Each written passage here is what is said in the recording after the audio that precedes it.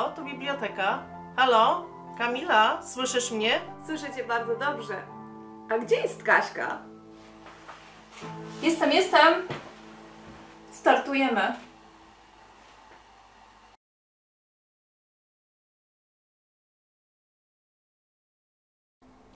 W dniu dzisiejszym w Bibliotece dla Dzieci i Młodzieży w ramach cyklu spotkań Człowiek z pasją gościmy dwie osoby. Są to Krzysztof Osmałek Witam i. Aleksandra Pasikowska. Y, Nasi goście reprezentują sport, y, który, y, jeśli wypowie się tą nazwę w skrócie, tajemniczo brzmi, a jest to MMA. Więcej na ten temat powiedzą nasi goście, którym oddaję głos. No właśnie, co to takiego jest MMA? E, Troszeczkę historii na ten temat, z jakiego państwa się wywodzi, e, coś o tej e, waszej pasji, kiedy wy doszliście do wniosku, że warto wejść w ten sport. Bardzo proszę, może rozpoczniemy od trenera. A jeszcze zanim oddam głos trenerowi, powiem, że nasi goście mają już duże osiągnięcia w tej dyscyplinie sport.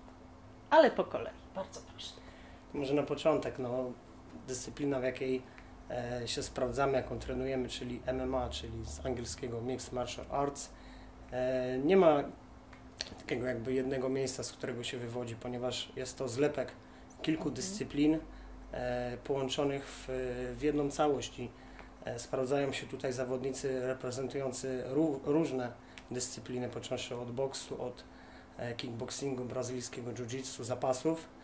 E, Pierwsze mm, turnieje sportu e, MMA, czyli pierwsze takie konfrontacje tych e, zawodników z różnych dyscyplin e, miały już miejsce w e, początkach XX wieku w e, Brazylii, w turniejach Valetudo, ale już takie usankcjonowane, takie typowo pod e, sport e, okreś- określony zasadami MMA, a turnieje odbywały się w Stanach Zjednoczonych na początku lat 90., w Japonii oraz w Brazylii.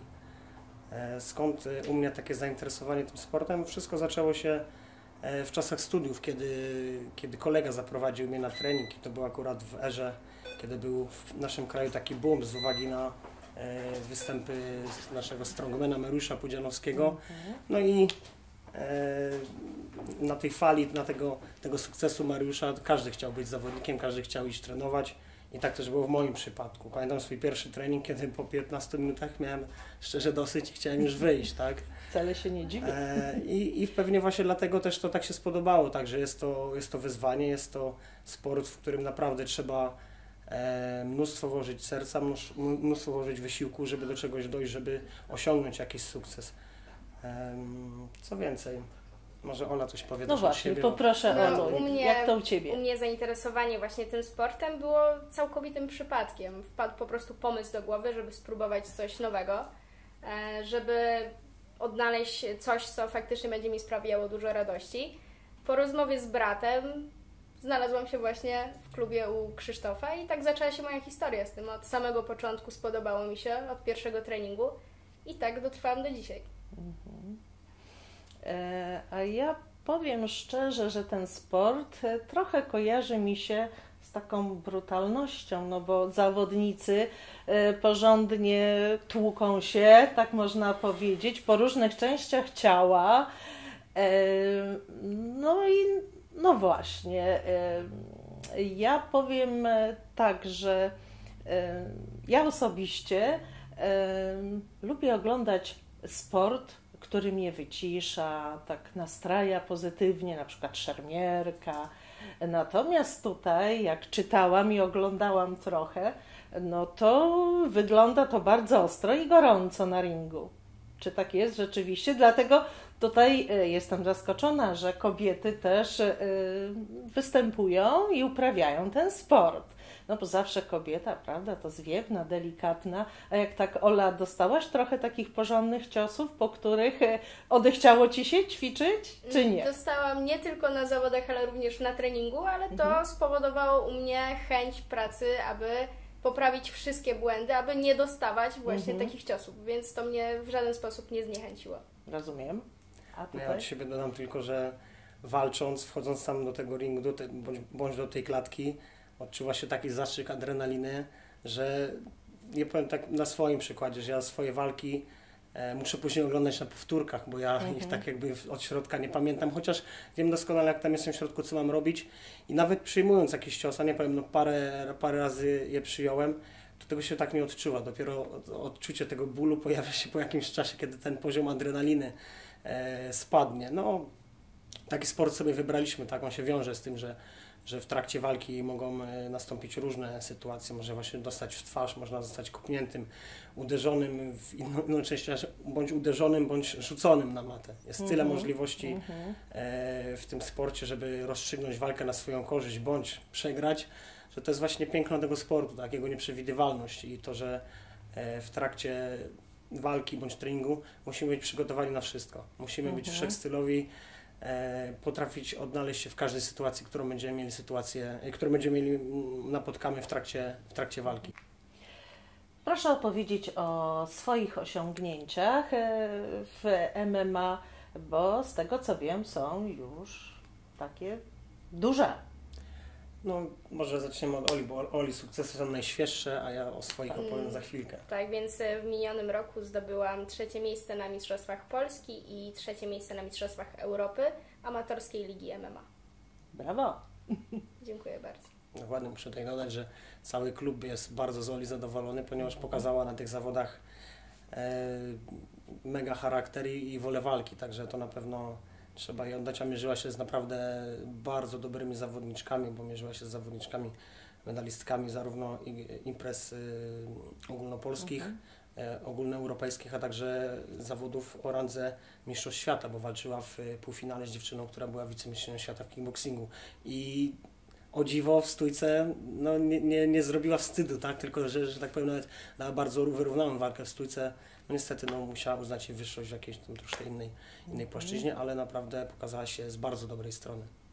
Czyli powiem, Ola wyciągnęła wnioski z wcześniejszych błędów. Tak. Na tym to polega właśnie. Na tym to polega, no właśnie. A jak teraz- u Ciebie właśnie No, Twoje osiągnięcia? Ja osobiście e, jestem już zawodnikiem e, zawodowym. Mam już jedną walkę zawodową. Teraz przygotowuję się do kolejnej, która odbędzie się w kwietniu na gali w Grudziądzu. E, Z dotychczasowych sukcesów to jestem dwukrotnym e, wicemistrzem Polski, e, ponadto kilkukrotnym medalistą właśnie zawodów również Almy, tak jak i pucharów poszczególnych regionów w kraju.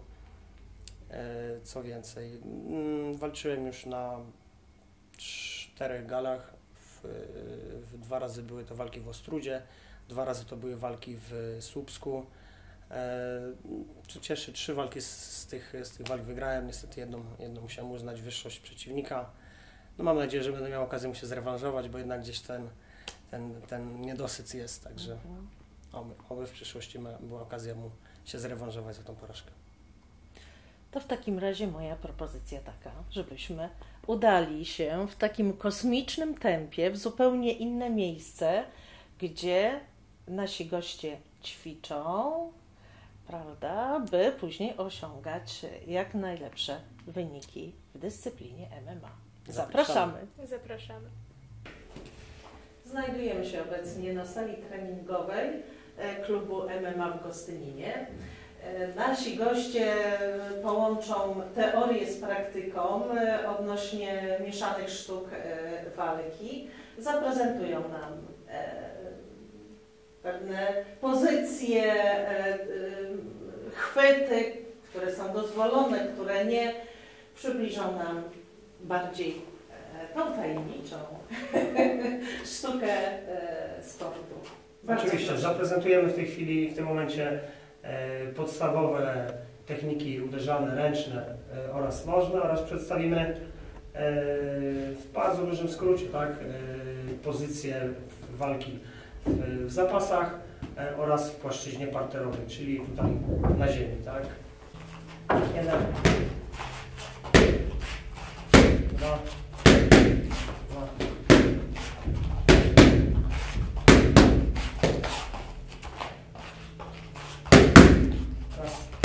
raz, raz,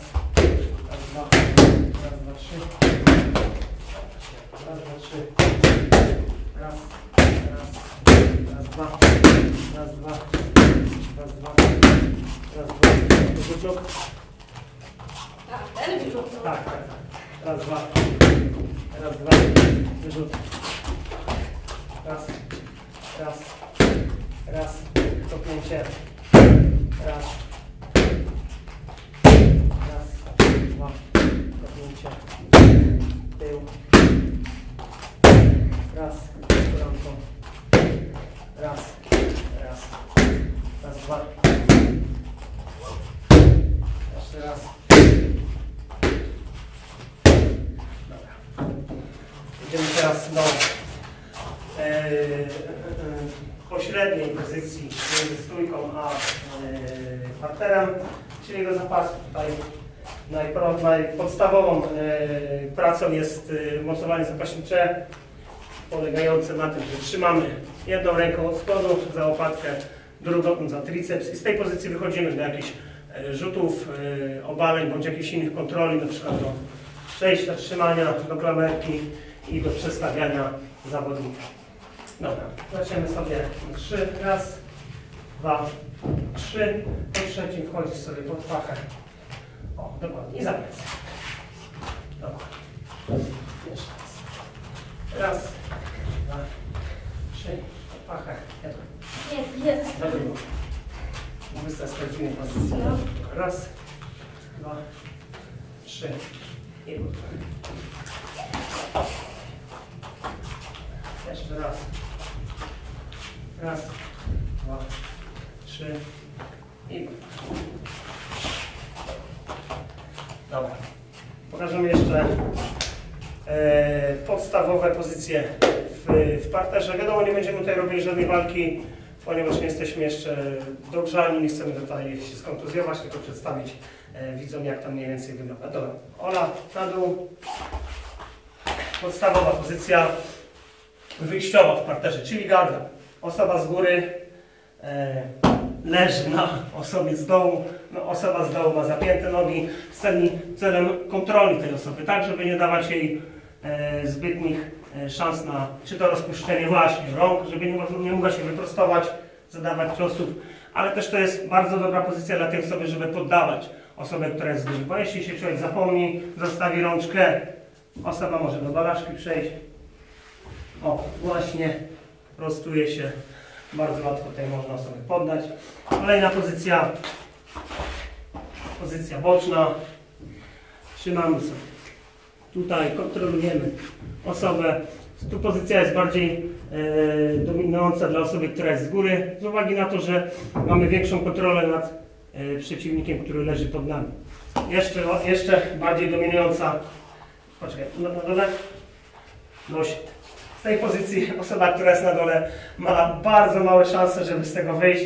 Jest wręcz okładana z każdej strony i można ją bardzo łatwo y, poddać. Na przykład y, y, ciosami bądź przez przerwanie sędziego. Tak, jeśli sędzia widzi, że osoba nie odpowiada, jest bezbronna, to wiadomo, to nie jest walka uliczna. Tak? Jest między nami sędzia, który w pewnym momencie, kiedy widzi, że przeciwnik już się nie broni, przerywa tą walkę. Tak? To nie jest uliczna chuliganka, tylko to jest jednak sport. Tak? Bardzo, e, brutalny, e, wymagający od nas e, sporo poświęceń, ale jednak to jest sport. Rozumiem. Ym, Co decyduje o zwycięstwie w danej walce? No właśnie, tutaj już było powiedziane, że właśnie ta trzecia pozycja, Mhm. jak gdyby jeżeli przeciwnik e, no, podda się tej trzeciej pozycji, to nie ma szansy, Czyli Mam bardzo małe szanse. bardzo małe szanse zwycięstwa. No tak, w walce MMA jest y, mnóstwo możliwości wygrania tej walki, tak? Możemy wygrać o stójce, możemy przeciwnika znokautować. Dodatkowo, jeśli już przejdziemy do parteru, albo nawet jeszcze nie przejdziemy do parteru, złapiemy go w tej pozycji zap- zapaśniczej, odpowiednio go rzucimy, to ten sam rzut może spowodować, że sędzia będzie zmuszony przerwać walkę, bo, bo zawodnik nie będzie w stanie kontynuować.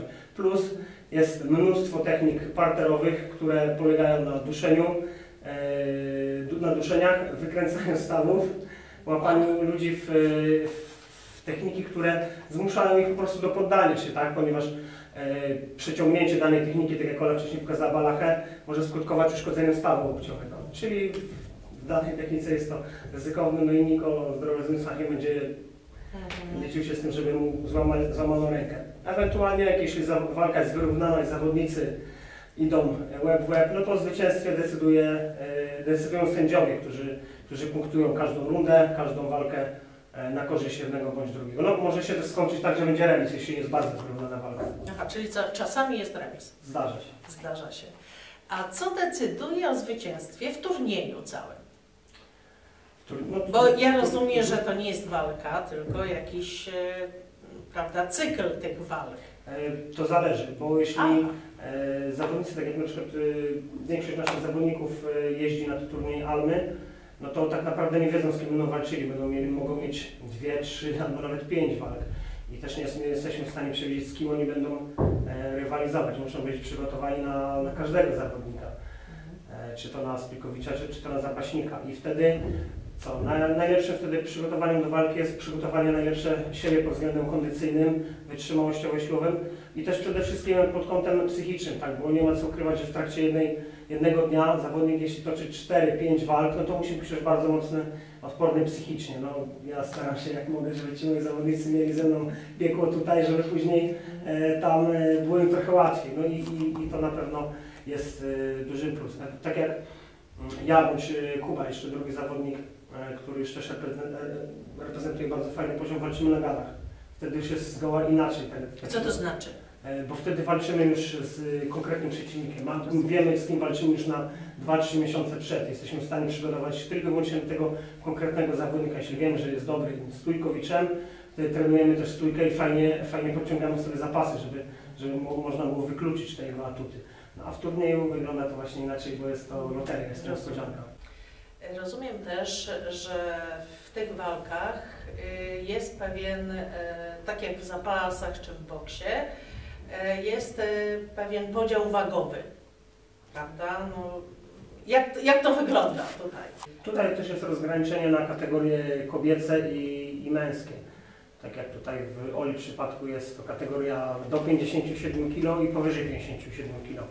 Ponieważ no wiadomo, no, te kobiety są troszkę drobniejsze i, i u nich nie ma, nie ma konieczności robienia tylu, tylu podziałów e, na kategorie. W sporcie mm, w kategorii męskiej już to wygląda troszkę inaczej, jest tych zawodników więcej i tutaj podział na kategorie wagowe e, jest już od 57 kg do powyżej e, 120, no do 120 kg, czyli zaczynamy od wagi e, koguciej, e, piórkowej, e, lekkiej, półśredniej, średniej, e, półciężkiej i ciężkiej. Tutaj rozgraniczenie tych, tych, tych, tych kategorii praktycznie plasuje się w granicach 5-7 kg, więc tutaj jest już, no, przeskok między kategoriami jest, jest, jest widoczny, tak, bo ja też osobiście startuję w kategorii 66, czasami walczę w 70 i czuć tą różnicę między, między tymi dwiema kategoriami, także po to zostało to stworzone i, i, i trzeba się tego trzymać.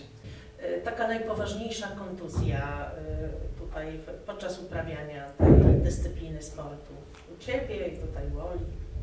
E, Ja odniosłem taką najpoważniejszą kontuzję w trakcie swojej pierwszej walki na gali w Ostrudzie. E, Miałem skręcony i wy, wybity bark. W trakcie walki przeciwnik e, przez napór tutaj głową e, spowodował to, że, że doszło do, do skręcenia i, i, delikatnie tam naderwania jakiegoś ścięgna w barku. No i troszkę tam później miałem problemy, tam 2-3 miesiące z, z tym barkiem, no ale na szczęście dzięki jakiejś tam rehabilitacji, wdrożeniu jakiegoś takiego e, zachowawczego leczenia i też no, ostrożniejszego podchodzenia do tej ręki udało się to w 100% wyrzucić, także można nawet mimo, takich ciężkich kontuzji wrócić i jakoś to jeszcze ciągnąć ten sport. E, Ja odkąd trenuję MMA, to, to nie, nie spotkałam się z jakąś większą e, kontuzją u mnie, oprócz kontuzji, którą miałam niestety zrobioną w innym sporcie. A dzięki MMA, dzięki treningom wzmocniłam odpowiednie partie mięśniowe i kontuzja jakby zanikła. A jak długo trenujesz MMA? Półtora roku? Coś O, około półtora. To myślałam, że dłużej. No, super. A tutaj jak No, długo? moja przygoda, no to z przerwami, tak, ale myślę, że to już jest około, około 10 lat. Miasta, w których odbywają się tak na koniec turnieje w Polsce. takie najbardziej znane miasto e, z turniejów MMA? Stolicą amatorskiego MMA jest tutaj nam bliski ze względu na odległość Sochaczew, więc mamy, mamy tą, e, tą wygodę, że na największe imprezy nie musimy jeździć e, nie wiadomo jak daleko. Chociaż zdarza się tak, że, że jeździmy też w inne, inne, do innych miejscowości z uwagi na to, żeby po prostu rywalizować w, w tej dyscyplinie, nie, nie czekać tylko na te zawody w Sochaczewie. Jeździmy też i, i do Poznania i, i nad morze jeździmy. Byliśmy też na turnieju w, w Krakowie, ale najczęściej właśnie dochodzi do tego, że jeździmy do Sochaczewa. No plus y, jeszcze te walki na galach, które, które odbywają się w różnych miejscach i, i, jeśli pojawią się fajne oferty, no to nie patrzymy na kilometry, tylko, tylko jedziemy i, i startujemy. A w Europie? W Europie mm, Takie mistrzostwa Europy MMA. e, z tego co wiem, to w tym roku odbędą się w Chorwacji. Tylko, że tutaj trochę droga jest y, bardziej wyboista, bo to już wtedy trzeba załapać się do kadry, a to jeszcze, to jeszcze daleka droga w naszym przypadku. Jak e, powinien wyglądać e, taki dzień, w ogóle to, to taki Jadłospis styl życia, styl życia, jadłospis, od- tak, to jest tak, tak. Żeby temat utrzymać rzeka, tą temat formę. rzeka, ba- Mhm. nawet temat morze i ocean, bo zależy w jakim jesteśmy właśnie okresie startowym. Jeśli to jest okres startowy, tak jak na przykład ja bardzo dużo kilogramów schodzę do limitu wagowego, bo ja w tej chwili mam 78 kg, a Wacia w limicie 66 kg, więc A, siłą rzeczy ta dieta musi być jakoś musi zachowana. być, tak. Wiadomo, no w okresie roztrenowania, no to pojawi się tam i ten McDonald's i kebab, no bo po prostu lubię, tak? Ale no jak już mamy ten cel, mamy tego przeciwnika, no to Trzeba się spiąć. trzeba się spiąć, no bo jednak wychodzimy tam i musimy dostosować swoje ciało, swój organizm, a nie dostosujemy go na śmieci- śmieciowym jedzeniu, tak? zrobicie. Bo, bo sami sobie robimy świadomie krzywdę, tak? Sami, sami schodzimy w, w tym momencie z, z wartościowego pożywienia, które, które pomoże nam w treningu, bo też nie ma co ukrywać. Trenując tutaj to jest taki wysiłek energetyczny, że trzeba uzupełnić to No czymś właśnie, wartościowym. czym? To, Czym uzupełniamy? Bananem. nie, no, Nie, nie, nie. tak, ale też racja. Uzupełniamy owocami, warzywami. E, Pomidorami. Najlepiej e, chude mięso, no i przede wszystkim w naszym e, przypadku to e, węglowodany, czyli ka, e, kaszę, ryż, makaron e, w, ten sposób. Tak wiadomo, no, no, nie możemy jeść co nam się żywnie podoba, czekolady, Nie, Czyli Eee, pewien jadłospis jest, musi być którego się szczególnie która... trzeba trzymać, kiedy przygotowujemy się do Tak, walki. dokładnie, dokładnie. No jednak ten proces schodzenia z kilogramów jest dość trudny, więc i wymaga mnóstwo poświęceń, także no, ta dieta no, nieraz jest tak jałowa, że już człowiekowi no, za, No za- tak, za ale nie może być się zajałowa, bo przecież tutaj musi być też siła, chociaż tu też jest Znaczy- spryt Mhm. i, i, Znaczy i jałowo znajomość chodziło, że, nie, że to nie jest, nie jest y, różnorodna dieta, tak, że nie, nie jem sobie co mam, na co mam ochotę, tylko to co muszę, czyli To, co mogę, muszę, jadę, jem przez dwa miesiące makaron i ryż, ewentualnie sobie zmieniam jakieś mięso, czy to kurczak, czy, czy to ryba i to jest wszystko, tak, ewentualnie jakieś tam warzywa i owoce, ale tak, ale już nigdy sobie nie, nie wezmę coli, nie wezmę jakichś batonów słodkich, czy czekolady, no bo, no bo to wtedy za- zaburzy ten proces. Ja, ja powiem szczerze, że y, po, po Mistrzostwach Europy przygotowując się nigdy nie byłam tak szczęśliwa jedząc czekoladę po zawodach. Także ja mogłam Czyli czekolady usiąść, też nie można jeść. usiąść spokojnie, zjeść czekoladę, to było naprawdę... A gorzka? A gorzką tak, ale Gorzka tak. te słodkie z dodatkami, no to są już kaloryczne, tak, mało tego zjemy, jest mnóstwo kalorii. Można? Można Białko. tak. E, Mówiłeś, że miałaś poważną kontuzję wcześniej, zanim e, rozpoczęłaś treningi MMA. E, Jaka to była dyscyplina sportu? Mm, Była to piłka nożna, którą trenowałam odkąd w sumie pamiętam, od małego. Była moją, wtedy wydawało mi się największą pasją i nie widziałam świata poza nią. No jednak doszło do, do kontuzji na, na zawodach. Delikat, no może nie delikatnie, ale dosyć poważnie uszkodziłam kolano, co się skończyło niestety operacją. No i po operacji, no jako młoda dziewczyna, widząca tylko piłkę i dwie bramki, delikatnie się załamałam, ale zobaczyłam, że są też inne kategorie sportowe i, i tak się znalazłam tutaj. No fajnie i o, okazuje się, że do tej pory żadnej in, e, innej kontuzji nie miałaś. Drugiego kolana albo ręki Nie, czy coś nie, takiego. nie. Delikatne pobolewania operowanego kolana, tak, no bo... Oko czasami miała podbite. A, No oko- tak, oko podbite, tak zdarzało się, tam siniaki, to też, y, to, to już norma, to już przywykłam do tego. Nawet jak widzę, to tam trudno, no ale tak poważniejszego nie miałam nic. Od jakiego wieku y, można rozpocząć y, naukę, tutaj treningi, U mnie w klubie, tak? No, tutaj w klubie? Eee, prowadzę sekcję dla dzieci oraz młodzieży. Eee, ta młodsza grupa to jest grupa w wieku 6-9 lat i tam zajęcia są bardziej oparte o eliminację jakichś wad podstawek, które występują u dzieciaków. Eee, skupiam się też na tym, żeby te dzieciaki dobrze się po prostu tu bawiły i poprzez zabawę mm, zakochiwały się w tym sporcie, tak żeby przychodząc tutaj nie, nie traktowały tego jak obowiązek, tylko jak coś, coś, coś fajnego, także przychodzą, mogą się wyżyć, pobawić, spotkać ze znajomymi i te elementy sportowe są gdzieś tam wplatane jako dodatek. Nie ma czegoś takiego, że przychodzimy i tłuczemy technikę, nie wiem, przedni prosty, tylni prosty przez godzinę, tak? Tylko dzieciaki biegają, bawią się i na tym to polega. Ta grupa starsza, 10-14, no to tutaj już te dzieciaki są bardziej świadome i, i wiedzą doskonale, że przychodząc tutaj, to przychodzą na trening sportowy, e, w mniejszej już y, części na zabawę. No, mam i w jednej i w drugiej grupie mam około 15-20 dzieciaków. E, grupy fajnie się rozwijają. No, niestety z uwagi na tą sytuację, która jest teraz, musiałem wstrzymać, ale no, myślę, że jakoś to się ruszy i, i, i te dzieciaki będą miały już możliwość znowu wrócić tutaj. Także? A jak często spotykacie się jeszcze? O właśnie, na przykład e, ile razy w tygodniu? To Czy to tak która- można ustalić e, pewien rytm, czy według zapotrzebowania i tak dalej? No to też, tak jak w grupie zawodniczej, no to też jest zależne od tego, na jakim etapie jesteśmy przygotowani do jakiejś konkretnej imprezy. Tak jeśli mamy, wiemy, że mamy zawody za, za 2-3 miesiące, no to już zwiększamy tą intensywność tych treningów i w tygodniu. Dla grupy zawodniczej jest to tam od 5 do nawet 10-12 jednostek treningowych. No jeśli ja na przykład już przygotowuję się do walki na gali, no to te 10-12 to jest takie minimum w tygodniu, plus jakieś uzupełnienie, wiadomo, basen otwarty, to chodziło się na basen, jakiś rower, bieganie. E, Dla grup e, zorganizowanych to te treningi odbywają się 2-3 razy w tygodniu dla grupy początkującej, dla grupy dzieci e, grupa 10-14 ma dwa razy w tygodniu te ćwiczenia, najmłodsza grupa 6-9 lat e, raz, dwa razy w tygodniu, w zależności jak, e, jak wyjdzie w grafiku. Dziękuję bardzo. Dziękuję. Dziękujemy.